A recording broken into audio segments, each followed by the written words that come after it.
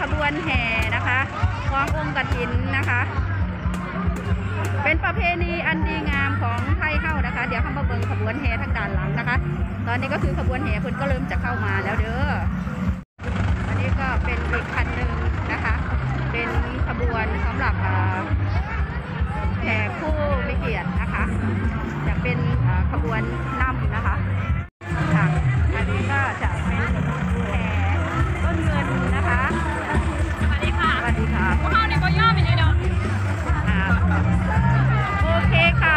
สวยค่ะสวย สวัสดีค่ะ สวัสดีค่ะบ้านอันนี้นะคะก็คือค่ะจากเมื่อคืนเป็นนางล่ำคืนนี้มาเป็นนางหยังนี่นางเฮค่ะโอเคนางเฮบ้านมาลจ้า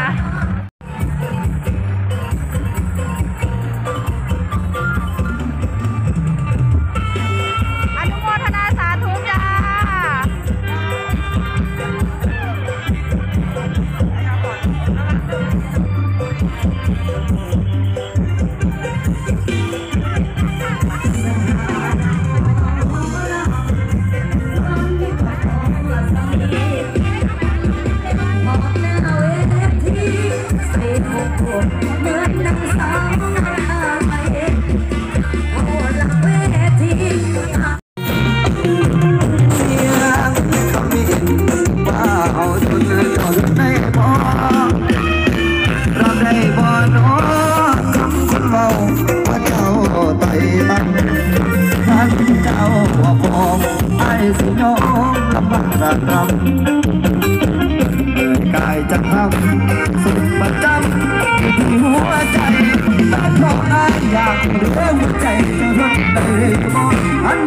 ฝักทองที่ยอมสู้สุดท้ายบางเจ้าบางคนได้บอกความทุกข์สุขในหัวใจ